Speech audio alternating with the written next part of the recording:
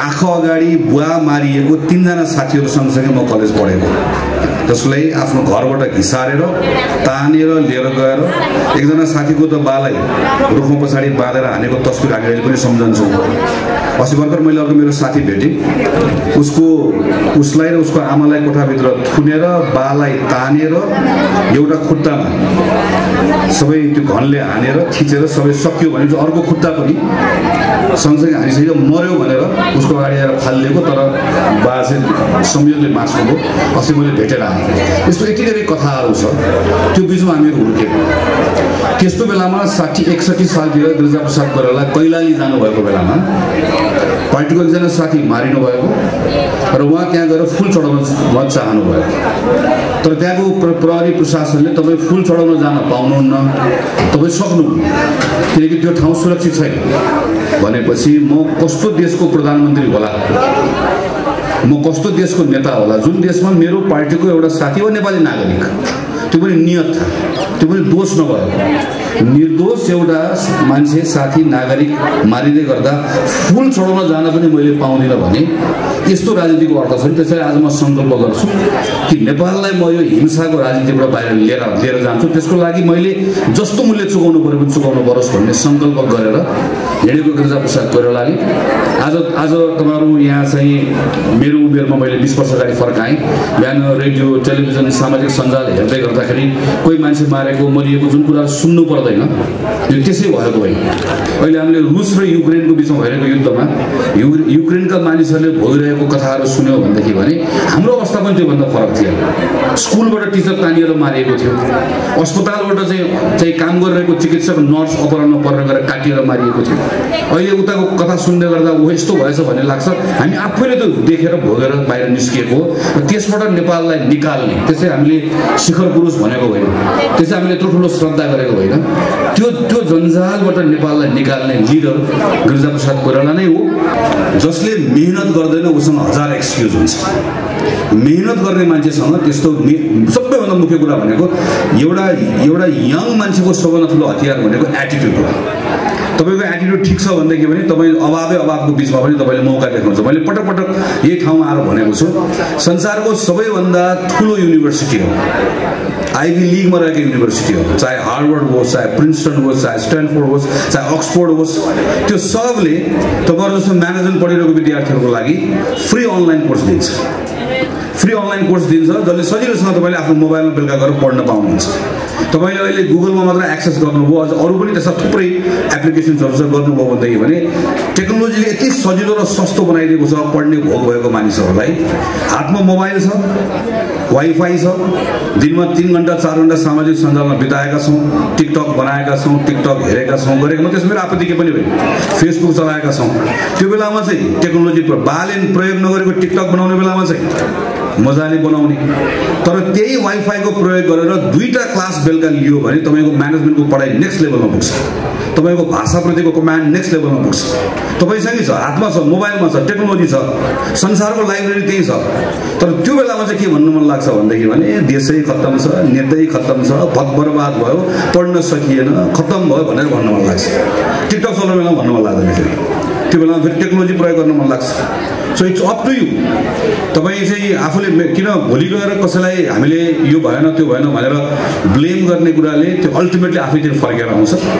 So you are the one to make the choice you are the one to make the decision तपाईँले बनाउने हो। म यो बेलामा के गर्ने भन्ने कुरा हो? त्यसैले यो जतिको मेहनत गर्ने बेला अरू कुनै पनि छैन। मेहनत गर्नुको लागि चाहिँ हामीसँग उपलब्ध भएको नेपालमा आजको दिनमा जति ठाउँमा काठमाडौँमा चाबेलमा जिपी कोइराला कलेजमा पढ्न पाएको विद्यार्थीले मैले यो कारणले गर्दाखेरि चाहिँ मेरो पढाइ बिग्रियो भनेर भन्नुभयो भने त्यसको कारण चाहिँ भोलि आफै अरू कोही पनि होइन अरू बाँकी सबै सहायक कारणहरू।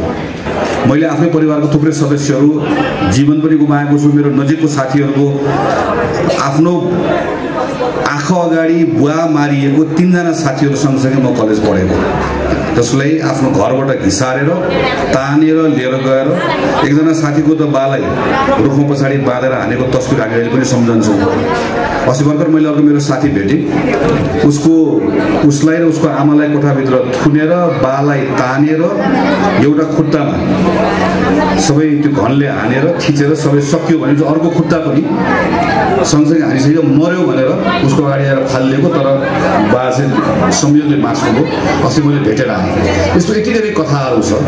त्यो बिचमा हामीहरू हुर्केको त्यस्तो बेलामा साठी एकसठी सालतिर गिरिजाप्रसाद कोइराला कैलाली जानुभएको बेलामा पार्टीको एकजना साथी मारिनु भएको र उहाँ त्यहाँ गएर फुल चढाउन उहाँ चाहनु भयो तर त्यहाँको प्र प्रहरी प्रशासनले तपाईँ फुल चढाउन जान पाउनुहुन्न।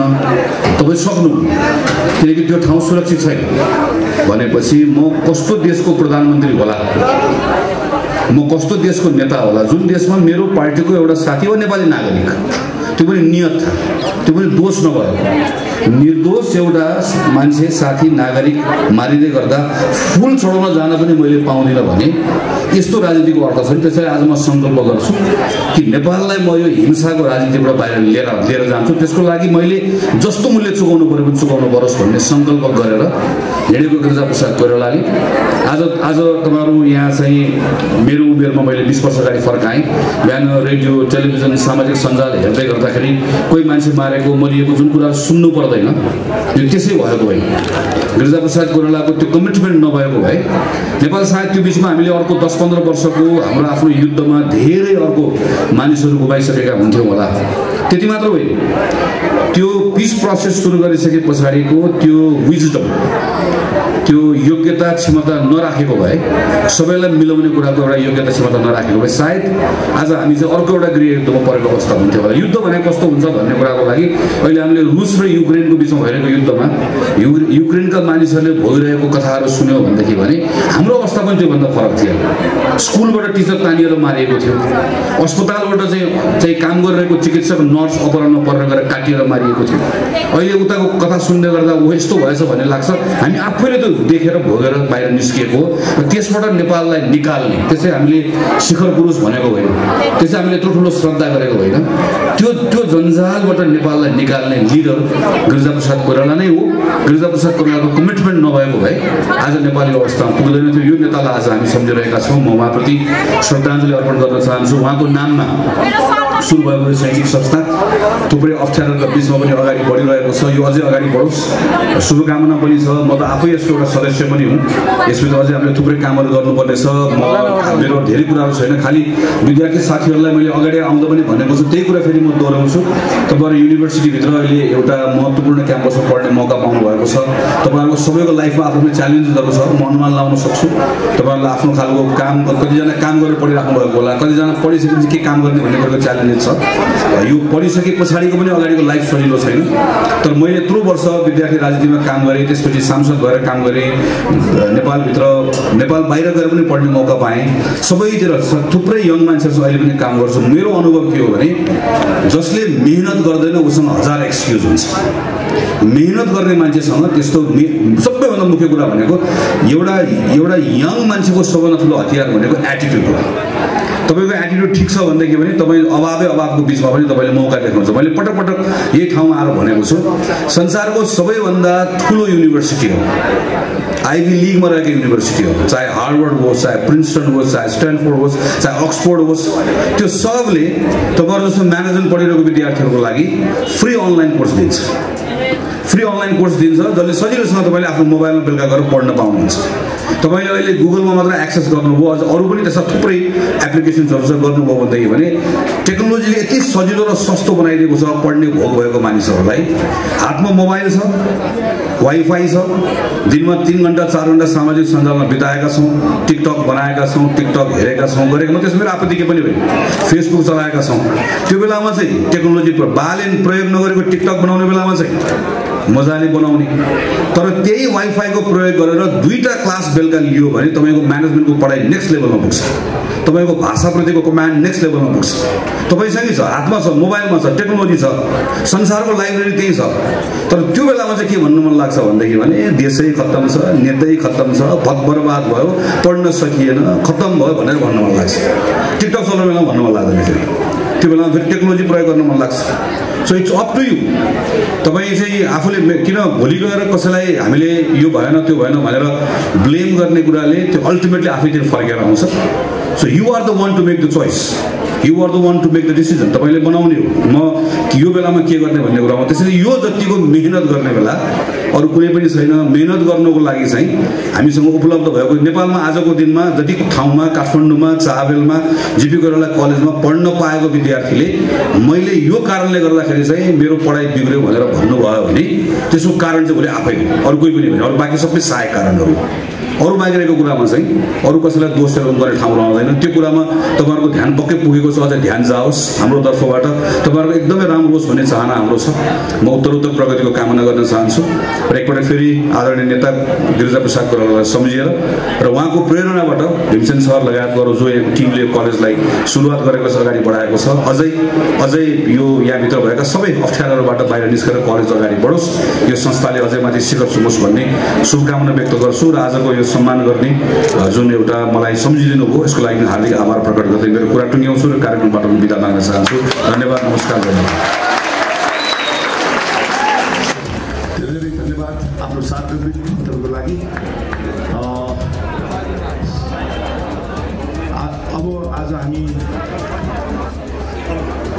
मान्यमन्त्रीज्यूको अतिथि अति नै व्यस्तताको बावजुद आयोजन भएको छ उहाँलाई आर्थिक कर्तव्यका साथ विदाय गरिदिनुको लागि अनुरोध चाहन्छु आज यस कार्यक्रमबाट उहाँको माया ममता सधैँ रहन्छ आशा गर्दै आजको यस कार्यक्रममा म यस कलेजको स्थापनामा चाहन्छु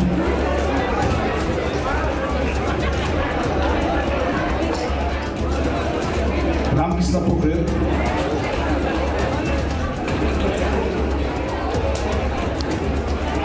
खिलनाथ सापकोटा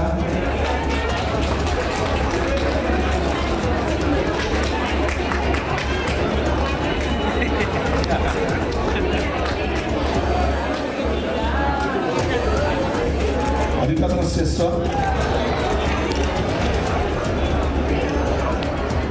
अरुण सिंह बस्नेत गर्नुहोस् गोपालराज पोखरेल छन् नर्मदा पोखरेल उहाँ जानुहुन्छ